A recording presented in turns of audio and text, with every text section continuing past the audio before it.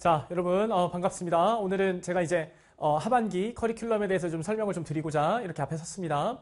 일단 6월 평가원이 끝나고 이제는 7월이 시작했죠. 자, 그러면 우리가 여름방학 앞두고 나서 이제 공부를 어떻게 해야 될지에 대한 고민 자체가 있을 텐데 첫 번째는 9월 평가원을 잘 대비하셔야겠죠. 그래서 제가 여러분들이 여름방학 그리고 길지 않은 여름방학이지만 8월 달까지 어떤 공부를 했으면 좋겠는지에 대해서 좀 설명을 좀 드릴 건데 첫 번째는 기존에 제가 이제 깔아놓은 강좌, 알겠죠? 그러니까 기존 강좌를 토대로 9월 평가를 대비하는 거, 그리고 어, 새로운 강좌로 9월 평가를 대비하는 거, 이렇게 좀 먼저 말씀을 드리고요. 그 다음은 9월 평가원 이후에 이제 커리큘럼에 대해서 좀 설명을 좀 드리도록 하겠습니다. 됐죠? 자, 먼저 볼게요. 첫 번째는 어, 기존 강좌를 토대로 좀 말씀을 좀 드릴 건데 어, 이거는 제가 지금 Q&A 게시판에 올라오는 상담들을 해드리다 보면 요 말씀을 좀 반복적으로 드릴 수밖에 없어서 자 기존 강좌로 9월 평가를 일단 대비해야 되는데요. 등급을 좀 나누겠습니다. 어, 3등급 이하 그리고 1, 2등급을 이렇게 나눠서 먼저 말씀을 드릴 거고 3등급 이하 친구들을 통해서 제가 말씀드리고 싶은 건 뭐냐면 기존 강좌는 지금 일단 업로드 된 강좌입니다. 알겠죠? 자 무조건 기본교와 기출하는 겁니다 여러분. 다른 거 하지 마시고요. 사설 컨텐츠 나중에 보시고 어, 3등급 이하라는 것은 어찌됐든 3등급은 단순히 글을 읽고 이해하는 것만 공부를 했기 때문에 여러분들이 혼자 공부할 때 많이 안 틀리겠지만 포인트는 시험을 볼 때는 그 실력이 안 나온다는 거예요. 그러면 주어진 짧은 시간 안에 누가 정확하게 독해를 해내는 게임인데 그 도, 정확하게 독해를 해내는 게임은 결국에는 명확한 기준 자체를 잡는 게 제일 중요합니다. 알겠죠? 그래서 여러분들이 그 명확한 기준 잡는 게 약하기 때문에 문제가 좀 생기는 거거든요. 그래서 제가 봤을 때는 문학이랑 독서를 구분해서 말씀을 좀 드리면 어, 제가 압축편을 찍어놨습니다. 알겠죠? 압축편을 찍어놨고요. 우리 함께 시작이 압축편이고 기존은 51강인데 이거를 제가 14강으로 바꿨습니다. 자, 왜 이렇게 줄었냐고 말씀을 좀 드리면 첫 번째는 우리 함께 시작해서 가르치고자 하는 핵심은 다 가르치는데 우리 함께 시작해서 가르쳤었던 내용 중에 아이들이 많이 질문했었던 어려운 거 위주로 좀 잡아놨고요. 그 어려운 거 위주 중에서도 어찌됐든 올해 6월 평가원 아시겠죠? 제가 교재를 만들 때 6월 평가원에서 출제됐었던 출제 원리를 그대로 다 담아놨, 담아놨습니다. 그러면서 포인트는 핵심적인 것, 어려웠던 것들을 다 줄이다 보니까 14강으로 나왔고요. 빠르게 정리할 수 있는 좋은 강의입니다. 알겠죠? 그래서 이거는 제가 실제 현장에서 시켜보면 학생들이 2주 정도면 다 듣는 것 같습니다. 알겠죠? 그래서 총 14강이고요. 요 14강, 14강을 통해서 여러분들이 EBS까지 어떻게 보는지에 대한 제가 기준 자체를 드립니다. 특히 자, 산문문학 같은 경우는 현대 산문 같은 경우는 처한현실이 중요하고 고전 산문은 장르적 특징이 중요하기 때문에 요 산문문학 같은 경우는 크게 도움을 좀 받을 수 있습니다. 알겠죠? EBS 공부를 하기 위해서는 요거는 좀 필수적으로 들어주시면 여러분들이 6월 평가에서 나왔던 출제호도 자체가 연결이 많이 좀 될 겁니다. 알겠죠? 자, 그 다음 독서는 자 근원적 실력 자체가 필요하기 때문에 단순히 특정과 특정 다, 어, 강좌 한두 개를 들으면 성적이 오르지 않아요. 이거는 어쩔 수가 없습니다. 그래서 제가 독서는 우리 함께 시작 독서를 듣게 말씀을 좀 드리고요. 요게 지금 어, 학생들이 많이 구매를 해서 제가 이번에 4세까지 찍었거든요. 이번에 5세가 다시 들어가는데 교재가 계속 계속 계속 빠지고 있어서 포인트는 뭐냐면 1, 2단계를 좀 빠르게 수강하시기를 바라는데 4단계까지 있어요. 제가 수업은 4단계까지 찍어놨는데 1, 2, 3단계는 첫 번째로 1, 2단계는 이게 가장 기본적으로 우리가 글을 어떻게 읽어가는지 한 기본기 자체를 다루는 포인트고 이 부분이 살짝 처음에 들을 때는 힘들 수 있는데 1단계만 잘 버티시면 2단계로 가다 보면 이제 글이 계속 보이게 될 겁니다.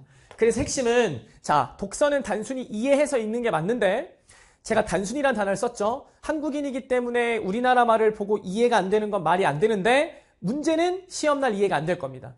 알겠죠? 그래서 그 이해가 안 되는 걸 어떻게 그런 쪽으로 해결할 수 있는지에 대한 제가 방법들을 툴로서 적어놨기 때문에 단순히 독서는 그때그때 맞는 행동을 통해서 성적 절대 안 오릅니다. 아시겠죠? 시험 느껴보셨죠? 6월 평가는 해보셔서 알겠지만 행동을 못해서 성적이 오르지 않는 게 아니에요. 행동은 내가 직관적으로 할 수 있어야 되는 건데 그 직관적인 행동을 할 수 있는 방법은 근원적 실력을 높이는 겁니다. 알겠죠? 그래서 글을 근원적으로 높일 수 있는 이 우암시를 먼저 좀 하시고 1, 2단계를 좀 빠르게 들으십시오. 1, 2단계까지는 빠르게 들을 수 있을 겁니다. 알겠죠? 자, 그런 다음 자, 기존 강좌라고 포인트를 말씀을 드렸죠? 수강하는 방법인데요. 자, 압축편 현대시를 먼저 듣습니다. 제가 순서는 어떻게 해놨냐면 압축편을 현대시, 고전시가 현대소설, 고전소설로 해놨어요. 그러면 자 보세요. 현대시, 그 다음 요거 다음에 고전시가 됐죠? 자, 그 다음 현대소설 그리고 고전소설 이렇게 3문으로 넣어놨는데 핵심은 이렇게 가는 겁니다. 자, 우암시 압축 버전을 먼저 듣는 거예요. 현대시까지. 이게 총 6강 정도 될 겁니다. 그럼 현대시에서 이렇게 시간을 많이 썼냐? 최근 트렌드가 현대시가 해석이 난이, 난이도가 어려운 것들이 나왔고 이 현대시는 우리나라 말이기 때문에 여러분들이 직관적으로 이해가 가능하거든요. 그러면 이 직관적으로 이해를 가능, 가능 한 것에서 제가 기본적으로 여러분들이 시가문학을 풀 때 필요한 행동 자체를 다 설명하기 때문에 조금 더 시간이 길어졌어요. 그러면 고전시가로 가면서 시간이 좀 줄어듭니다. 알겠죠? 그러면 이렇게 볼게요. 자, 우암시 압축편, 이 압축편을 현대시까지 다 듣는 거예요. 다 들었죠? 자, 그러면 고전 시간을 시작을 하는 거예요. 요거를 듣는 건데 핵심은 뭐냐면 여기까지 다 들었으면 그때 도약 시즌원을 같이 붙는 겁니다. 이렇게. 음, 도약 시즌원을 같이 붙는 거예요. 그러면 도약 시즌원은 현대시를 듣는 겁니다. 이렇게. 그러면 여기서 배웠었던 기본적인 논리성들을 여기서 정제된 기출들로, 알겠죠? 정제된 기출들로, 정확한 기출들로 여러분들이 배웠었던 기준 잡는 거, 논리성 잡는 거를 여기서 끌고 가는 겁니다. 이렇게.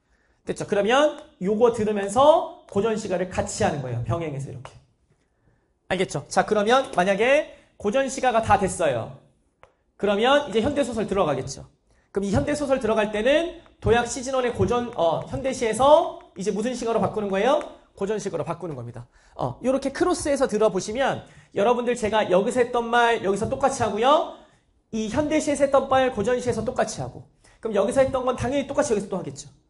됐죠? 그래서 일관된 풀이가 뭔지를 좀 느끼게 될 겁니다. 다시 수능 국어에 나와 있는 문학은 단순히 반복해서 읽으면서 감상하는 영역이 아닙니다. 알겠죠? 여러분, 국어는 내가 그 상황을 이해하고 납득하는 게 아니라 주어진 조건에 맞춰서 내가 갖다 맞추는 거예요. 알겠죠? 그러니까 그 능력 자체는 현대시, 고전시가 현대소설, 고전소설 전부 다 주어지는 조건을 토대로 명확하게 보는 연습 자체를 하는 게 제일 중요하기 때문에 이론과 실전 연습을 한 번에 하시면 어, 도움이 많이 될 겁니다. 알겠죠? 기존 교재로서는 문학과 독서를 이렇게 접근하시면 좋고요.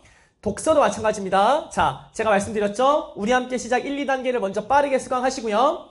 그리고 나면 1, 2단계까지 다 듣고 나면 시즌1을 병행을 시작하는 거예요.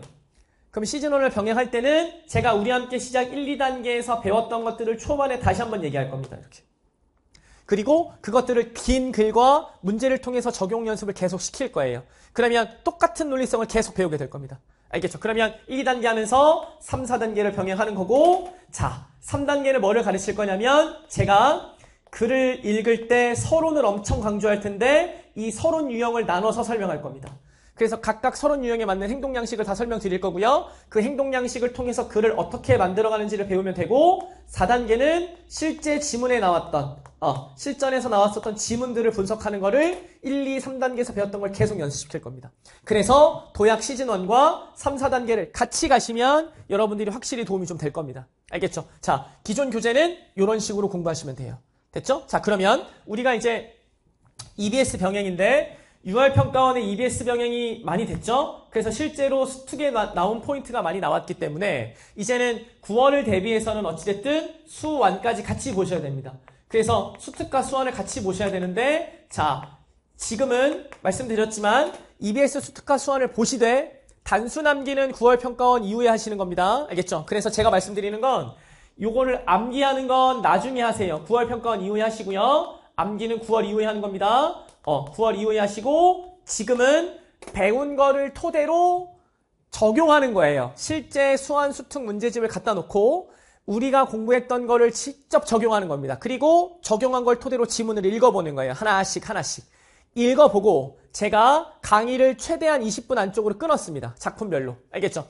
시가 짧은 경우는 10분 안쪽으로 끊었기 때문에 이거는 여러분들이 공부하실 때 사투리 시간을 활용하시면 어, 충분히 들을 수 있습니다. 알겠죠? 그래서 왔다 갔다 하거나 점심시간이거나 쉬는 시간에 한두 개씩 따박따박 보면서 자투리 시간을 활용하면서 들어보시면 문학 작품 정리는 제가 EBS 수특과 수원을 같이 연결해놨을, 어, 수업 해놨으니까 같이 보시고 자, 어, 모든 교재를 PDF로 해놨습니다, 여러분. 알겠죠? PDF로 해놔서 다운받아서 공부하시기 편하게 해놨고 반복해서 보셔야 되니까 다운받으셔서 복습하실 때 거기에 얹으면서 복습하시면 되고요. 손글씨는 제 수업 내용을 우리 조교들이 보고 제 수업이 익숙한 어, 조교들이 보고 조교들이 예쁘게 정리해놨으니까 손글씨까지 다운받으셔서 같이 보시면 아마 학습하는 데 크게 도움이 될 겁니다. 알겠죠? 단 3등급 이하 학생들은 단순함 기는 9월 이후에 하십시오.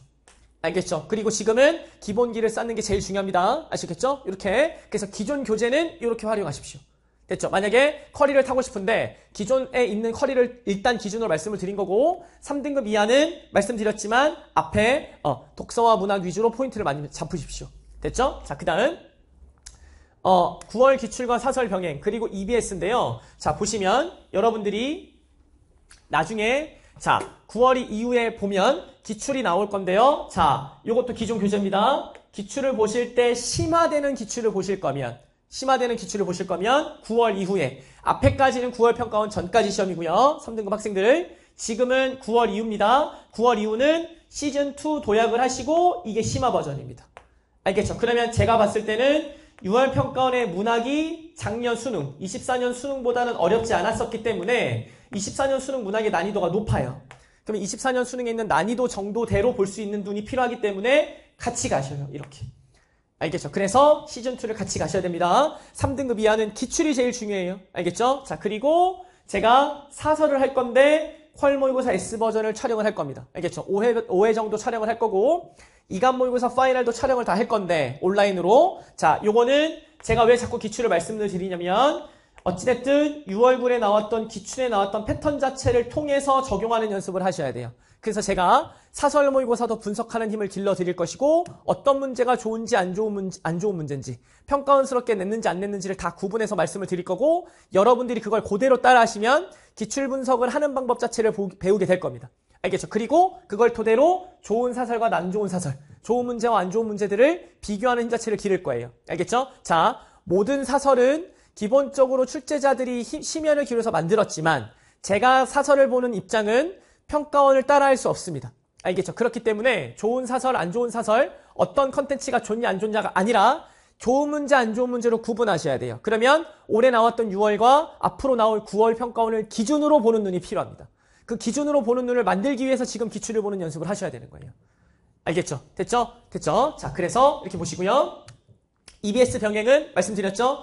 3등급 이하는 9월 이후에 암기하시고요. 그 다음, 자, 요게 중요합니다. 9월 이후에 만약에 내가 어느 정도 작품 정도 암기가 됐다라고 하면 문제를 풀어보고 싶잖아요. 새로운 문제를. 그래서 포인트는 뭐냐면 간슬개 시즌2를 넣었습니다. 이게 간슬개 시즌2가 3, 4월에 있었던 강좌인데 제가 이거를 왜 찍었냐면 계속 말씀드리지만 EBS 연계하는 간슬개의 유일한 강좌가 간슬개 시즌2입니다. 알겠죠? 그래서 간슬개 시즌2를 온라인에서 구매하셔서 문학 작품 자체에 대한 연계성이 많기 때문에 문학 작품이라도 풀어보시고 제 수업을 비교하시면 여러분들이 문학 작품 연계에 대한 부담감은 적어질 겁니다. 알겠죠? 이렇게 어, 준비를 좀 하시면 좋을 것 같습니다. 됐죠? 자, 그 다음 기존 강좌로 이제는 1, 2등급 학생님들인데요. 자, 1, 2등급 학생들은 기본적으로 글을 읽고 이해하는 과정 자체는 잘 하기 때문에 제가 말씀드리고 싶은 건 자, 똑같아요. 7, 8호는 6월 평가원을 분석하시고 사설을 병행해도 됩니다. 알겠죠? 자, 3, 4등급 학생들은 사설을 나중에 보시고요. 1, 2등급 학생들은 사설을 같이 보시면 좋습니다. 알겠죠? 그래서 자, 6월 평가원 분석 강좌를 꼭 수강하십시오. 1, 2등급 학생들은. 알겠죠? 꼭 수강하시고요. 이거를 꼭 수강하시면 제가 말씀드리는 게 뭐냐? 이걸 토대로 사설을 보는 힘이 생길 겁니다. 자, 6월 평가원을 반복해서 읽었다 하더라도 여러분 저처럼 분석은 안 될 테니 그 분석하는 힘 자체를 길러드려야 되니까 6월 분석 꼭 하십시오. 알겠죠? 그러면 요거를 제가 단순히 6월만 분석한 게 아니라 최근에 있었던 모든 평가원 시험과 연계해서 수업을 했기 때문에 요게 도움이 될 거예요. 아, 어떤 기준으로 앞으로 문제들을 보는 게 제일 좋겠구나라는 것 자체가 잡힐 거고 그걸 토대로 사설 보는 연습을 하시면 됩니다. 알겠죠? 그거 하시고요. 자, 그 다음 두 번째는 똑같아요. 우리 함께 분석 중에 24년 수능이 어려웠죠. 제가 24년 수능이 어려웠기 때문에 아이들이 24년 수능을 분석했으면 좋겠어서 만든 강좌고 24년 수능을 토대로 6월 평가원 올해 나오는 6월 평가원까지 분석이 들어가는 거니까 만약에 9월 평가원까지 시간이 있으신다면 6월 평가원 분석과 작년 수능 분석 강좌를 꼭 들으십시오. 알겠죠? 그러면 여러분들이 9월 어, 평가원을 분석하는 힘 자체가 생길 겁니다. 그래놓고 9월을 보면 좋을 것 같고 사설은 일주일에 한두 번씩 실전 연습을 좀 하시면 됩니다. 알겠죠? 그래서 똑같아요. 자, 사설 병행 그리고 EBS인데 핵심은 똑같습니다. EBS 퀄 모의고사와 어, 퀄 모의고사와 이간 모의고사 파이널을 똑같이 관, 출항을 할 거고 촬영을 할 거고 여러분들 입장에서는 자 상위권 학생이면 엄매를 할 건데 제가 EBS 수특 엄매를 지금 촬영을 해서 업로드하고 있습니다.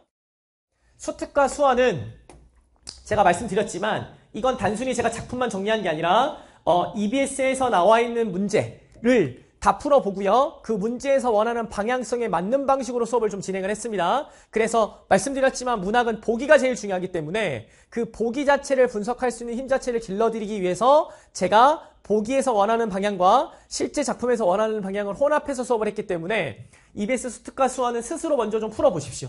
알겠죠? 특히 문학은 먼저 풀어보시고 그 풀어본 걸 토대로 작품을 읽어보시고 읽어보고 제가 찍어놓은 거를 촬영을 한 거를 보시면 여러분 작품 정리가 어느 정도 될 겁니다. 알겠죠? 그리고 제가 단순히 작품 정리를 한 게 아니라 올해 6월, 올해 9월을 바탕으로 설명을 좀 드릴 거고 지금은 수안을 찍고 있기 때문에 수특을 찍을 때는 6평을 전으로 찍었기 때문에 그때는 작년 수능을 기준으로 설명을 좀 많이 드렸고 수완은 제가 6월 평가원을 기준으로 설명을 좀 많이 드리니까 어쨌든 6월 평가원과 작년 수능을 분석 강의를 들으시고 EBS를 들으시면 도움이 확실히 좀 될 겁니다. 알겠죠? 그렇게 보십시오. 자, 그 다음 이제는 새로운 강좌를 좀 설명을 드릴게요. 등급과 상관없이요, 여러분. 새로운 강좌. 자, 제가 7월 이후부터 찍는 강좌를 좀 말씀을 드릴 건데 새로운 강좌를 통해서 하반기에 이렇게 갈 겁니다. 9월 평가원 전까지는 만약에 기존 강좌로 준비하실 거면 기존 강좌 앞에 설명드린 걸 말씀을 드린 걸 하시면 되고 기존 강좌를 다 들었다 혹은 앞으로 저랑 새롭게 만나고 싶다 라는 분들은 제가 수능 대비를 위한 모의고사 점검을 할 건데요. 이렇게 준비를 했습니다. 일단 고1, 고2, 고3 모의고사를 다 준비를 했고 6월 평가원 7월까지 본 모의고사들을 다 묶을 겁니다. 묶어서 영역별로 갈 거예요. 현대시, 고전시가, 현대소설, 고전소설을 고1, 고2, 고3 모의고사를 다 다룰 건데 고1, 고2 모의고사 중에 너무 내신틱하거나 모의고사가 최근 트렌드 같지 않은 거는 일단 버려놓고요. 여러분들께 제가 영역별로 행동 양식을 점검시켜 드릴 겁니다. 알겠죠? 그래서 6월 평가원에 나왔던 걸 바탕으로 행동 양식을 잡아 드릴 거고 고1, 고2를 하는 이유는 기본기를 다지기 위해 좋습니다. 알겠죠? 그러면 어떤 방식으로 출제하는 건지를 보시고 그 본 걸 토대로 3월, 4월, 어, 3월 모의고사, 5월 모의고사, 7월 모의고사까지 분석을 하시면 도움이 될 겁니다.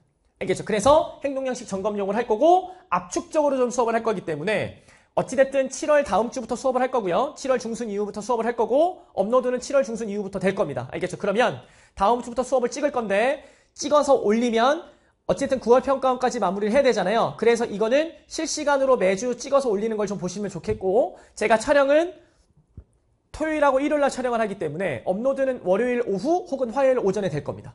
알겠죠? 그래서 여러분이 9월 평가원 때는 웬만한 유형 자체는 대비할 수 있을 정도로 제가 수업을 좀 디테일하게 할 거니까 얘를 잘 배워보시면 아마 도움이 될 겁니다. 됐죠? 자, 원하는 건, 제가 개인적으로 원하는 건 기존 강의를 다 들은 학생들이 들으면 효용성이 엄청 좋을 겁니다.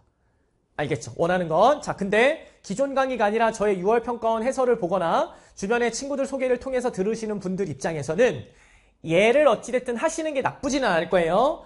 근데 하시면 기존 강의가 좀 궁금해질 겁니다. 알겠죠? 그러면 기존 강의를 조금 조금씩 채우는 방향으로 공부를 해주면 여러분들 공부가 좀 완성될 가능성이 높으니까 어찌됐든 제 욕심은 어, 새로운 강좌고 요걸 통해서 여러분들께 모든 웬만한 행동 양식은 다 설명드리겠습니다.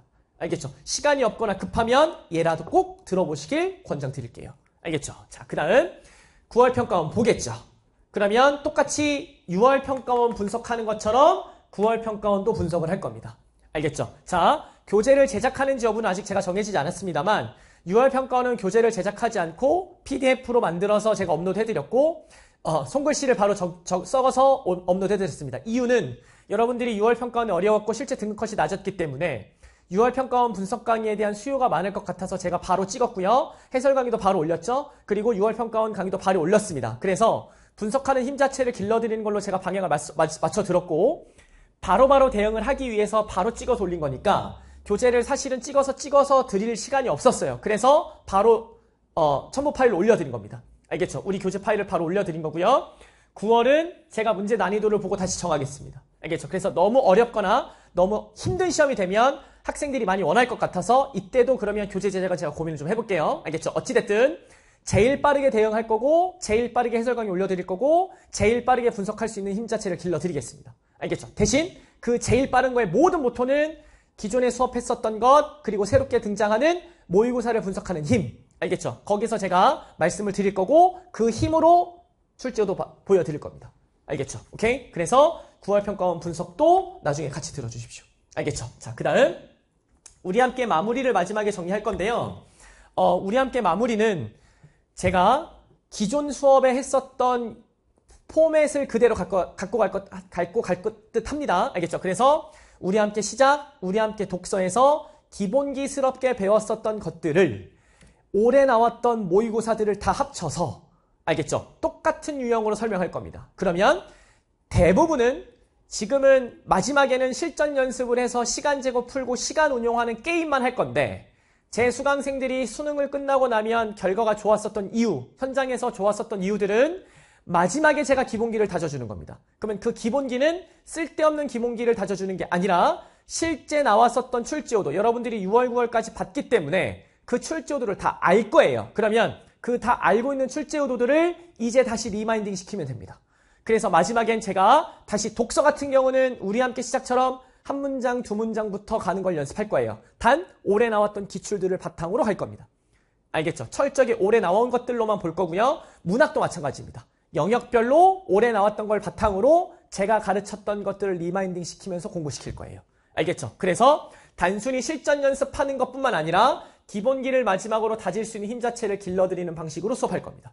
알겠죠? 당연히 퀄 모의고사와 이감 모의고사 해설은 할 거고요. 알겠죠? 그거는 매번 모의고사 찍을 때마다 제가 업로드를 할 거니까 그건 걱정하지 마시고 단순히 그것만 하시면 안 됩니다. 알겠죠? 자, 수능 보셔서 아시죠? 재수생들은 그리고 고3들은 6월 모의고사 보셔서 아시죠?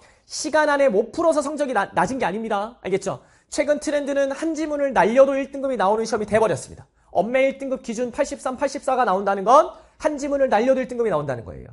알겠죠? 그러면 포인트는 어차피 90%는 다 못 읽는다.